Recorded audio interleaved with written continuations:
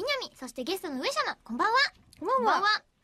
以前のファイブスターズの放送で、みなみが上様のモノマネをしていたのですが、おみなみ曰く上様は喋るときに指が曲がっている。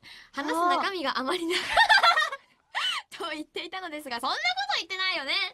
それは坂さんが言っていた。今日もそんな感じなんでしょうかどうですかね上様。それでは、よっそしていやいやいやいやいやいやいやいや、ちゃんと話すときはね、そうそうそうそうそうそうしてますよね。真面目な瞬間もちゃんと真面目な瞬間もちゃんと、あ真面目じゃない瞬間もある。いやうんうんま日々真面目に生きている 私は真面目の塊だよえー、っと、そうですね。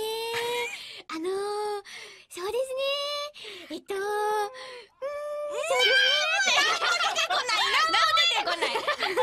っていう上様も私はね、あの、ずっと一緒にいて、よくよく見ました。よくよく。そう見たよ。言葉にできない。それ、ちょっと致命的なあれなんじそうゃないなですか。の。なんかね今どういう気分って言われて、うんうん。言葉にできないからうんううん。ん赤。赤、みたいな。色でしょ。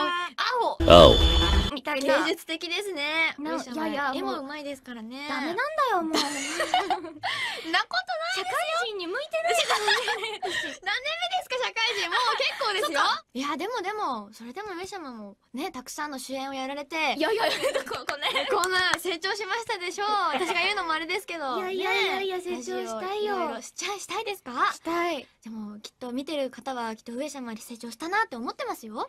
だといいな。だとい